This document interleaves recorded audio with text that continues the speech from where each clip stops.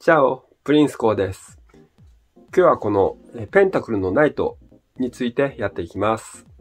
えー、そうですね。ペンタクルのナイト、うん、責任感があって、えー、良い結果を得るために下準備を怠らない人ですね。で、まあ、有能な人物ですね。で、決して無理をしないで、えー、堅実に確実に目標を達成して、そのために人々の信頼を勝ち得ていくというようなタイプですね。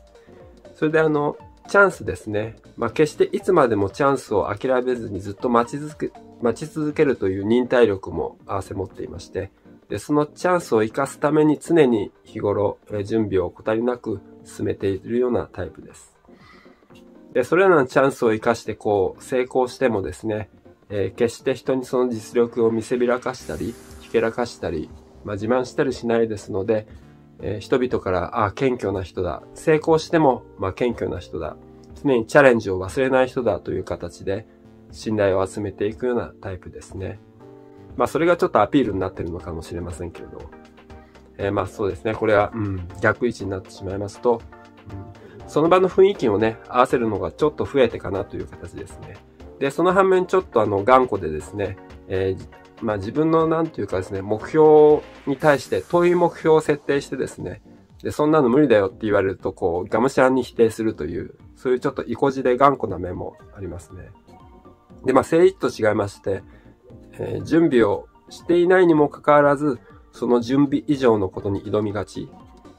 で、その行動が裏目に出てですね、準備をしていれば成功していた物事も、その準備不足、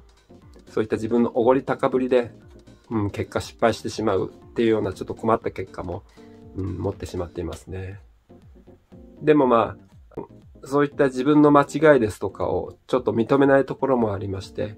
ちょっと責任転嫁する。まあ人のせいにしてしまうというような形もありますね。まあとはいえ、うん、そうですね。聖地では、まあ非常に準備に着実にこうこなしていく。で、その着実にこなしてなおかつチャンスを捉えて逃さない。そのチャンスのためにいつまでも待ち続けることができるという、えー、精神の持ち主ですので、えー、聖地ですと非常にまあ着実に見据えて、えー、成功していくようなタイプとなっております。えー、皆様、チャンネル登録、ものすごく嬉しいです。ぜひ、お願いいたします。それでは皆様、えー、また次回お会いしましょう。Ciao